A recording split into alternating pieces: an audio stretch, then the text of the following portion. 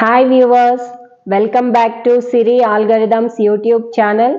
Please like, share and subscribe my channel. In this video, I am going to explain about the non-primitive data structure tuple. So properties, functions, operations and methods. So let me open the Jupyter notebook.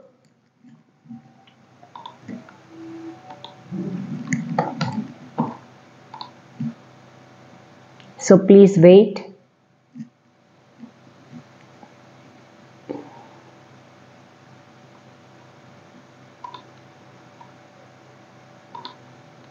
Environment is loading.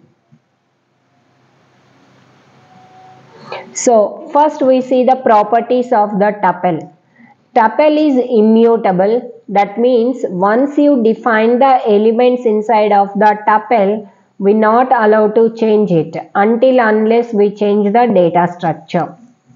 And tuple is always represented in the parenthesis. It is ordered means which order you arrange the elements the same order follows. So we can do the indexing and slicing. So let me show you the code. So tuple. First check the how to create an empty tuple. So tup1 is equal to just parenthesis here. Just check the type print of type of tup1. You can see here class is tuple. Next. So tuple is ordered. So you can take some elements here 10, 20, 30, Python. So tuple is also a collection of elements. It contains multiple data types. So you can give like a float value. So now you can go to print of tup1. So you can see which order you arrange the elements, the same order follows. Next, next functions. What functions are there? So let me take uh, one example here. Yeah, take this one.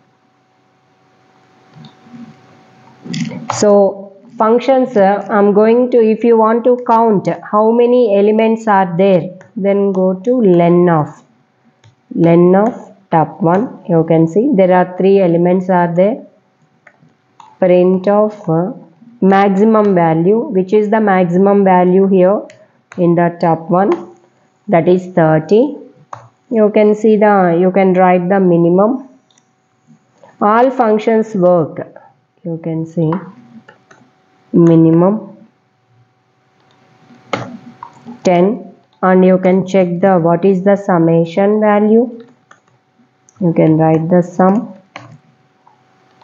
and uh, print of max of we have directly don't have the mean.